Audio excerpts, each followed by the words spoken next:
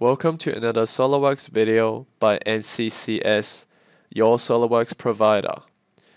Today we'll look at some of the new enhancements in the sheet metal environment with SOLIDWORKS 2017.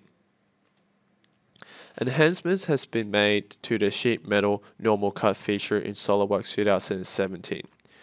In this model, there are a couple bars running through holes created with the sheet metal normal cut feature.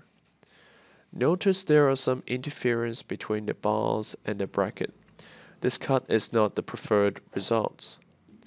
If we look at the cut more closely, we can see that SOLIDWORKS 2016 creates normal cuts by projecting the upper and lower contour into the normal cut sketch. Now in SOLIDWORKS 2017, a new option is available to optimize the geometry of the cut to remove any unwanted material.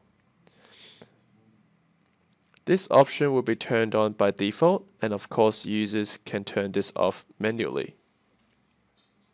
We can see that the material are projected better now. We've always had the ability to add corner reliefs where two sheet metal bends come together. But now in SOLIDWORKS 2017, we can create three bend corner reliefs. Select the option in the corner relief property manager. Let SOLIDWORKS collect the appropriate corners and choose from the various relief options. This particular relief features has all the options which can be seen in the drawings. Material is removed when appropriate in both bent and flattened states.